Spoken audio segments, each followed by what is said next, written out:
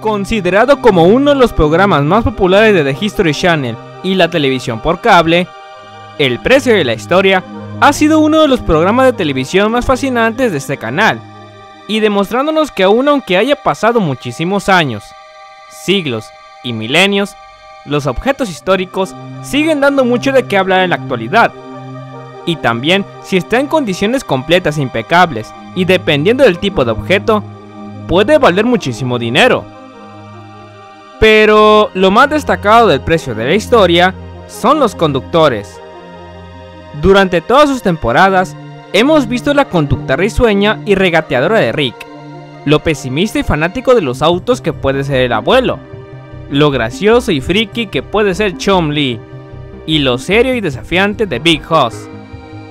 Estos factores los han inmortalizado en la televisión, y en internet hasta son referenciados en múltiples ocasiones, en especial, las acciones del programa son muy referentes en los memes de internet. Inclusive, el más famoso es la forma tan regateadora que puede ser Rick al momento de comprar los objetos. Pero a pesar de que en la tienda se han vendido objetos antiguos de cualquier índole, pero lo más curioso es que en la casa de empeño también ha tocado casos en donde los jugadores han vendido alguna de las consolas y juegos más icónicos de los videojuegos. Y aunque se han mostrado pocos videojuegos, el solo hecho de ser presentados en el programa demuestra el gran valor que tiene, tanto monetario, nostálgico, como en el coleccionismo. Y el día de hoy veremos algunos de los videojuegos que han sido vendidos en el precio de la historia. Sin más por agregar, comencemos. Desde la época de los años 80, la Atari 2600 se ha consolidado como la pionera de los videojuegos, debido a sus títulos, las adaptaciones de juegos populares a las arcades y la posibilidad de tener una consola en casa. En la actualidad, las consolas Atari se han estado volviendo muy coleccionables, al punto de que una consola con solamente los controles y los cables pueden valer unos 200 dólares. En el precio de la historia, una persona llevó a vender su Atari 2600. Según comenta el vendedor, compró la consola en eBay, debido a que sus padres en el garaje habían conservado algunos videojuegos de Atari 2600 que ellos jugaban cuando eran jóvenes, y que aproximadamente eran como 70 juegos. La ventaja del aparato es que tanto la consola como los controles e inclusive los juegos estaban en perfectas condiciones y eran 100% jugables. Por lo que el tipo llegó con Big Hoss a empeñar la consola, por la cantidad de 100 dólares, por la consola, controles, cables y la caja completa llena de 70 juegos. A lo que Big Hoss, para probar la funcionalidad y el perfecto estado de la consola, decide jugarlo en las partidas de box a Chom Lee en el cual los dos combatieron en el juego, y este último resultó ser ganador y disfrutaron mucho del juego. De esta manera, nos muestra que aún en la actualidad, la Atari 2600 aún sigue siendo una de las consolas de antaño en los videojuegos. Pero no solo las consolas pueden tener un gran valor comercial. En algunas ocasiones, las máquinas arcades muy icónicas pueden ser pieza clave para ser compradas por los coleccionistas, en especial títulos que marcaron la época dorada de las arcades, como Galaga, Space Invaders, Pong, entre otros. Pero ¿quién diría que el mismísimo arcade de Pac-Man aparecería a la venta en el programa? Un vendedor llega a la casa de empeño vendiendo su máquina arcade de Pac-Man. Esta máquina es muy diferente a las clásicas arcade de Pac-Man, debido a que este modelo es en forma de tablero, lo que le da un aspecto muy llamativo en el juego. Debido a que esta persona tiene un hobby por reparar máquinas de este tipo, decidió comprar este juego por internet. Pero lamentablemente no consiguió repararlo, ni mucho menos que volviera a funcionar.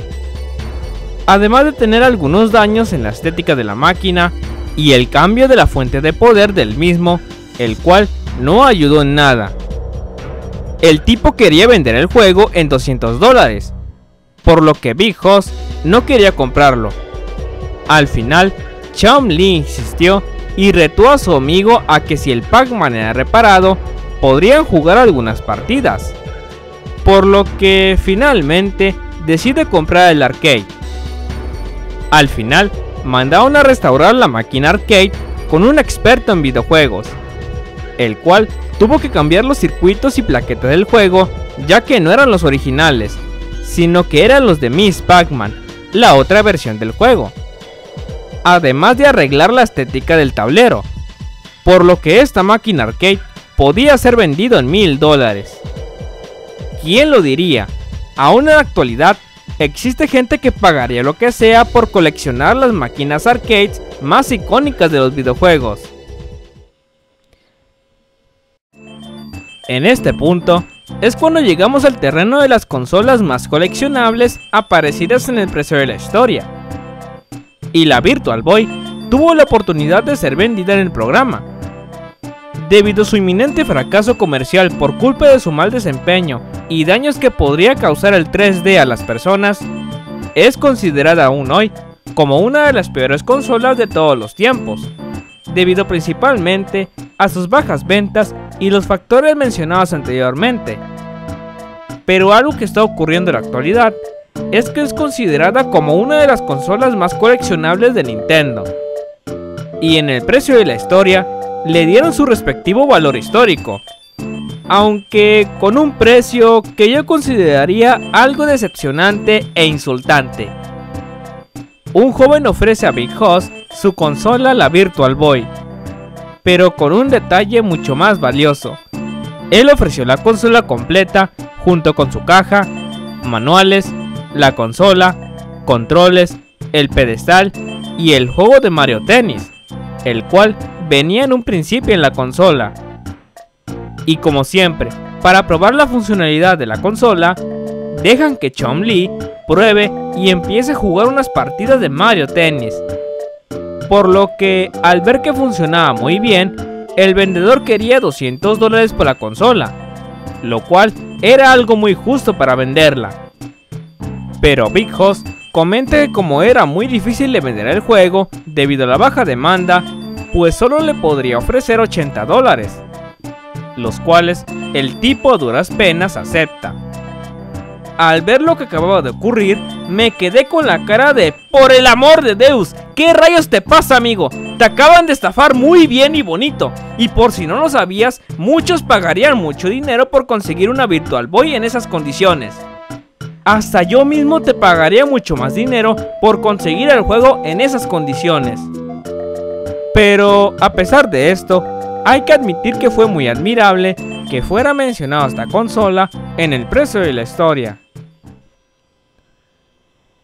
En este video, hemos visto los videojuegos que han sido mostrados y vendidos en el precio de la historia.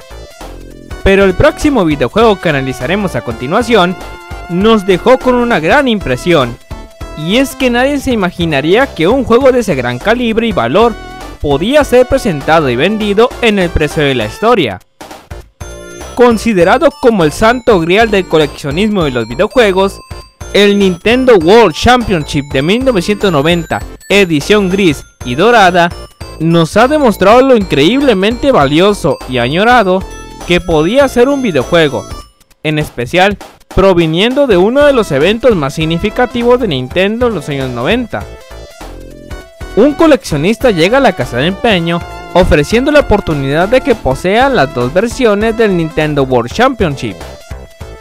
El joven le explica a Chom Lee un poco sobre el origen del torneo y la utilización del cartucho gris en dicho evento.